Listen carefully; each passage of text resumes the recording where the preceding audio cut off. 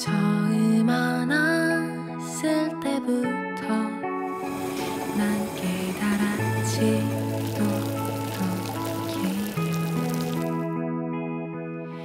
두 사람의 심장에는 온도 차이가 있단 사실을 진심이면 충분하던 예쁜